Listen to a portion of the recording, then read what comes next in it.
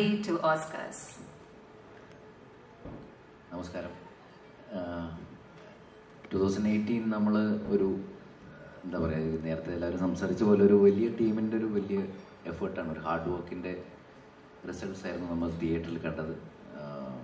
ഇവർ പറഞ്ഞ പോലെ തന്നെ ഒരു ട്വന്റി എയ്റ്റീൻ കണ്ടതിന് ശേഷം എല്ലാവർക്കും പറയാൻ പറ്റും ഇങ്ങനെ ഒരു സിനിമ വളരെ നന്നായി എന്നൊക്കെ. പക്ഷെ അതിന് ഉണ്ടാവുന്നതിന് മുമ്പ് ഒരു തിരക്കഥാരൂപത്തിൽ നിന്നുകൊണ്ട് ആ സിനിമയെ സപ്പോർട്ട് ചെയ്യാൻ ഒരു നിർമ്മാതാവ് വന്നുകൊണ്ടാണ് അങ്ങനെ ഒരു സിനിമ സംഭവിച്ചതും. അതിനുശേഷം ഇപ്പോൾ സാറ് പറഞ്ഞ പോലെ ഞാനും സാറും കൂടി രാവിലെ ലോസ് ആഞ്ചലസിലെ വീട്ടിലിരുന്ന് ഇങ്ങനെ ആലോചിക്കുന്നത് നമ്മൾ എങ്ങനെ ഇവിടെ എത്തി? എന്ന് പറഞ്ഞ പോലെ അവിടെ പോലും അത്രയും എഫേർട്ടും ക്യാഷും ഇൻവെസ്റ്റ് ചെയ്യാൻ റെഡി ആയിട്ടുള്ള ഒരു പ്രൊഡ്യൂസർക്ക് മാത്രമാണ് ഒരു ഓസ്കാർ റേസ് എന്താണെന്ന് പോലും മനസ്സിലാവുള്ളൂ. അത്രയും കോമ്പറ്റീറ്റീവ് ഫീൽഡാണ് അവിടെ ഒരു ഓസ്കാർ റേസ് നമ്മുടെയൊക്കെ നമ്മൾക്കൊന്നും എത്തിപ്പെടാൻ പോലും പറ്റാത്തത്ര ഉയരത്തിലാണ് മറ്റ് സിനിമകളൊക്കെ അവിടെ പ്രൊമോട്ട് ചെയ്യുന്നത്. പക്ഷേ നമ്മുടേതായ രീതിയിൽ നമ്മൾ ചെയ്തിട്ടുണ്ട്. സാർ പറഞ്ഞ പോലെ ദൈവാനുഗ്രഹം കൊണ്ടെന്ന് നമുക്ക് ഒരു ഓസ്കാർ കിട്ടും എന്ന് ഞങ്ങൾ പ്രതീക്ഷിക്കുന്നു. അതിന്റെ കൂടെ ട്വന്റി എയ്റ്റീന് സംഭവിച്ചുകൊണ്ടിരിക്കുന്ന കാര്യങ്ങൾ പലതും അൺപ്രഡിക്റ്റബിൾ ആണ്. നമുക്ക് പോലും മനസ്സിലാവാത്ത രീതിയിലാണ്. അപ്പോൾ സാറിന്റെ അടുത്ത് പറഞ്ഞെങ്കിൽ ഡി എൻ എഫ് ടി എന്ന് പറഞ്ഞ ഒരു പരിപാടി നമ്മുടെ പണം അപ്പോൾ ഞാൻ ദൈവം അതും. എന്ന് പറഞ്ഞ പോലെ അതും മറ്റൊരു ഭാഗ്യമായിട്ട് കരുതുന്നു.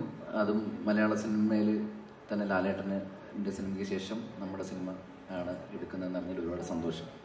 അപ്പോൾ ഇനിയും ഒരുപാട് ഒരു ഒരുപാട് സിനിമകൾക്ക് ഡി എൻ എഫ് ടി പാർട്ണർഷിപ്പായിട്ട് വരട്ടെ എന്ന് ആഗ്രഹിക്കുന്നു. ഏറ്റവും കൂടുതൽ സന്തോഷമുള്ളത് ഹരിഹരൻ സാറിനെ ഞാനിവിടെ കണ്ടതിലാണ്. കാരണം ഞാൻ പണ്ട് ചെന്നൈയിൽ ഒരു ചെറിയൊരു ഷോ ചെയ്യാനായിട്ട് അസിസ്റ്റ് ചെയ്യാനായിട്ട് ഞാൻ അവിടെ ഒരു ചെറിയൊരു ലോഡ്ജ് പോലത്തെ ഒരു സ്റ്റുഡിയോ പോലത്തെ ഒരു സ്ഥലത്ത് ഞാൻ താമസിക്കുന്ന സമയത്ത് താഴെ ഒരു കാറിൽ വന്ന് ഒരു വൈറ്റ് ഷർട്ടും വൈറ്റ് പാന്റും വൈറ്റ് ഷൂട്ടും ഒരാൾ അന്ന് ടേപ്പാണ് ഈ ഷൂട്ട് ചെയ്തൊക്കെ ടേപ്പിലാണ് അപ്പോൾ ടേപ്പ് കാറിൽ ഡിക്കിന്ന് എടുക്കുന്നുണ്ട്. അപ്പം ഞാൻ ഞങ്ങൾക്ക് കറക്റ്റ് ഹരിഹരൻ സാറിനെ പോലെ തന്നെ ഇരിക്കുന്നു.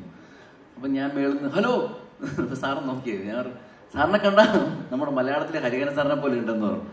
സാറ് ഞാൻ തന്നെയാണ്. ഹരിഹരൻ അപ്പോൾ സ്വന്തം സിനിമയുടെ കാര്യത്തിന് വേണ്ടി ചെറിയ കാര്യത്തിന് വേണ്ടി പോലും അന്ന് സ്റ്റുഡിയോയിൽ വരുന്ന ഒരു ഫിലിം മേക്കറെ ഞാൻ കണ്ടു. ഞാൻ സത്യം പറഞ്ഞ് ഞെട്ടിപ്പോയി. കാരണം എന്റെ മനസ്സിൽ ഹരിഹരൻ സാറ് ഒരുപാട് അസിസ്റ്റൻസ് ഉള്ള ആളാണ്. ഏതെങ്കിലും ഒരാളെ വിടേണ്ട കാര്യമുള്ളൂ. പക്ഷേ അത്രയും പാഷനേറ്റ് ആയിട്ട് ഇത്രയും എക്സ്പീരിയൻസ് ഉണ്ടായിരുന്നിട്ടും സിനിമയെ അത്രയും ഇഷ്ടപ്പെടുന്ന ഒരു ഒരാളുടെ കൂടെ ഈ വേദി പങ്കിടാൻ തന്നെ തന്നെ മുജ്ജൻ സുഹൃതം എന്ന് വിശ്വസിക്കുന്ന ഒരാളാണ് ഞാൻ. സാറിനോട് തന്നെ ആദ്യം താങ്ക് യു പറയുകയാണ് ഇങ്ങനെ ഒരു ഫംഗ്ഷന് വന്നതിലും ഇവിടെ വന്നിരിക്കുന്ന നമ്മുടെ സിനിമയിൽ ഉറക്കിയത് ഒരുപാട് പേരുണ്ട്. എല്ലാവരെയും കുറേ നാൾക്ക് ശേഷം ഇന്ന് കാണാൻ പറ്റും.